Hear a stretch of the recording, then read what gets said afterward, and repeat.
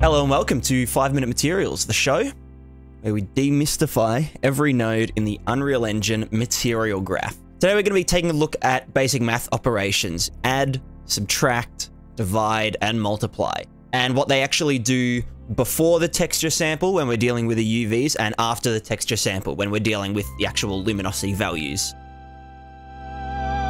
If you haven't used Photoshop much before, or you know, you're not really much of a visual person, this can be really tricky to kind of grasp, I guess. The best way to experiment with it for someone that's just sort of, you know, doodling around would be to use linear gradients and to see how it affects other textures by using add, subtract, divide, multiply. So let's draw a little a little graph basically. This is like an input output graph kind of. I don't know what they're actually called. This is 0, this is 1, this is 1.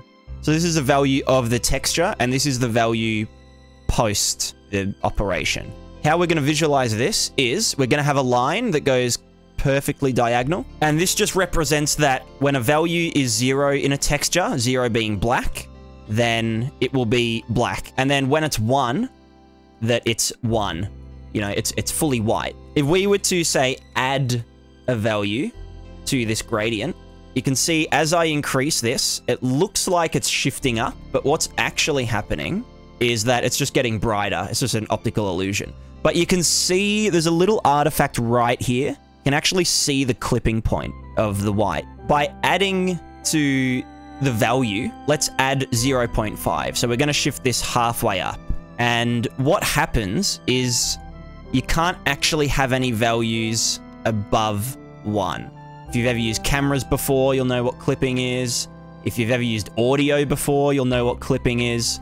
Basically what happens is that all of this just gets truncated and the final output is this, which is why we get that sort of that line right in the middle. Like this doesn't get any more white after this point. If we go back the other way and go to 0.5 or negative 0.5, sorry, you can see that past this midpoint, it doesn't actually get any blacker. And that's because the exact same thing if we were to get this and shift it down halfway, you can see that at this, you know, 0.5 point, it doesn't get any blacker. It can't get any blacker. So our final output ends up being this. Hopefully that kind of makes sense. Same thing as UVs. We're offsetting by adding and subtracting. And multiply and divide do what you'd expect. They, they sort of, rather than move the whole thing up and down, they stretch it. Multiplying by 2 would stretch this up to like here, your black values would still be fully black, but your white values are now double as bright, and that will get truncated about here, which ends up being 0.5. If you've done sort of elementary school maths, you know, you can count from 0 to 1 and do some basic addition and subtraction. Um, but where it gets pretty hairy is when you start overlaying textures on one another. So let's say we've got this linear gradient again. The texture sample we're going to be using is just a cloud noise texture. And you can see it's got some zero values, it's got black parts, and it's got some one values, which are these white, white parts.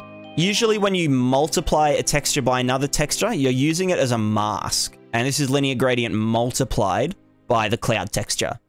So up towards this end, it gets fully black. And that's because in this cloud texture, regardless of if they're 1 or 0.5 or 0.1 or something, if they get multiplied by 0, they become 0, which is why up here it's like pitch pitch black.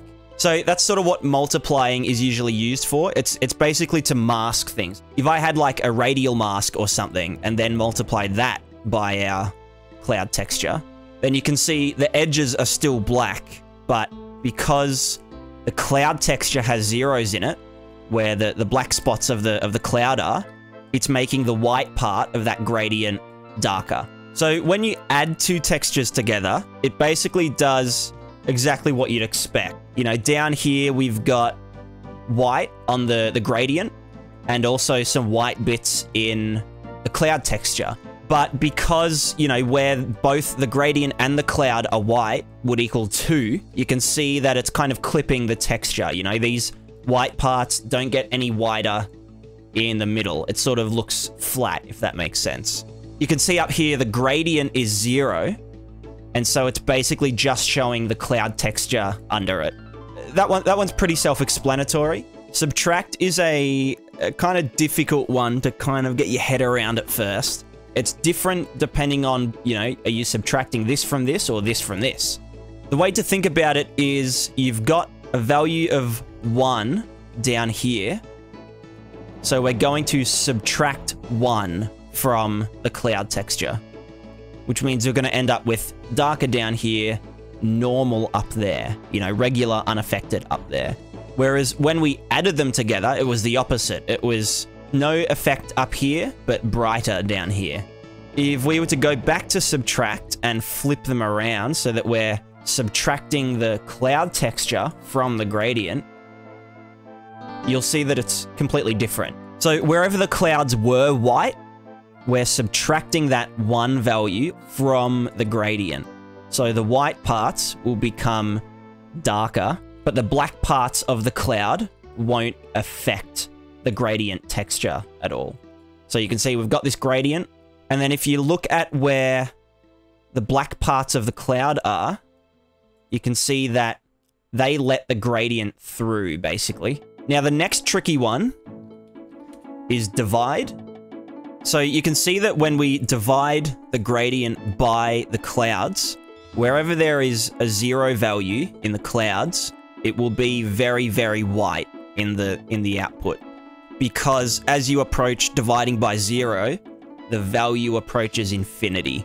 If we were to do this the other way around, so dividing the clouds by the gradient, then you'll see that up here, where the gradient is usually black, like this, the clouds approach infinity brightness. If you're confused at what UV means, U is basically just X coordinate and V is just Y coordinate. The reason that it's not XY is because this is a 2D vector. Because in three-dimensional space, we use X, Y, and Z, but apparently in a 2D space, we use U and V. So what this is doing is it's appending a, a coordinate together. So this is X and Y, or U and V. This is going to be the U, or the X, and the Y is going to be zero. So we're only going to be shifting our texture horizontally by using the add node. So if I compile this and we take this parameter and we shift it, you can see that it's moving the texture along. So as I move this texture along, you can see when I approach 0.5, we're exactly halfway through the texture tiling once. As I make it all the way to 1, you can see that we've completely wrapped around again. Now we're at 1 to 2 instead of 0 to 1 because we've done a full wrap. I hope that kind of makes sense. If we were to do basically the same thing except use a multiply node instead of an add, got to make sure this is 1 because multiplying by 0, not a good idea. And as I increase this parameter, you'll see that it squishes the texture in. When I go to 3, you can see we go 0, 0 0.5, 1, 1.5, 2, 2.5, 3. We've squished in the texture. Now, that might sound counterintuitive, and it did to me at first. In your brain, you think, I'm multiplying it, shouldn't it be getting bigger? It's actually the opposite that is true. The explanation that I came up with for this is if we jump into paint and I grab my crayon, so this is zero, this can be three, and we'll put the midpoints in here. All right, so I've drawn us a little texture, and this texture is mapped from 0 to 1 UV, basically. So when we add to a UV coordinate, what we're doing is incrementing the actual UV's values. So this would become 0.5, this would become 1.5, this would become 2.5, and so on, so forth. We'd expect that by adding 0.5, that this first part of our texture tiling would now be at 0.5. And so if we go back to our texture, this kind of explains why when you're adding to the X UV, you would expect it to move in the positive X direction, basically, but it actually goes the other way. And as I move it to 0.5, you can see that we're exactly halfway through the texture. the bit that was our far left side is now in the middle. It's at 0.5. So that's how adding and subtracting seem to work to me at least for UVs. If we go in here and we look at multiplying, if we apply that same concept of we're affecting the, the UV rather than the texture, say we're multiplying it by 2, so 1 would become 2, 2 would become 4, 4 would become 8. How we can visualize this is we're actually stretching out the UV. So now we've multiplied the UV by 2, basically. And, you know, if I was to draw under here, this would still be 0, because 0 times anything is still 0. This is where 1 used to be. This is where 2 used to be. This was 3. This was 4, and so on. And you can see 1 times 2 is 2. 2 times 2 is 4. The texture stays the same, but when it's actually viewed, if we squished it back down, you'll see that it's actually the texture that has become thinner or smaller. It will tile the texture and whatnot. So I've swapped out my texture for one that's closer to my, my example here. If we start to increment this multiplier to 2 from 1, you can see when we reach 2 that we've got two repeats of the thing in the in the x-axis, axi, which is what we expected from looking at this. So multiplying by a big number will make something really small. Dividing by a big number will make something really big. Now this is going to come in handy when you're working with like world aligned textures. Some object you're using uses like a top down projected material you're going to want to be able to scale that easily. So that's about it from me today. I hope that that kind of demystified a little bit of what all these operations actually do, or what they're actually doing. This is obviously a very broad overview, but I thought I'd make this video so that in other tutorials and stuff, I can redirect people to here to make sure that they understand what adding, subtracting, multiplying, and dividing do in terms of editing the UVs of a texture and also the values of the texture output and stuff. As always, if you need help with anything Unreal related, then jump in our Discord. We have 24-7 support for everyone. Whatever your problem is, you know, we've got someone that can solve it. And I'd like to give a massive shout out to our very first Patreons or patrons, patrons of the Patreon, Dennis and Your Sandbox.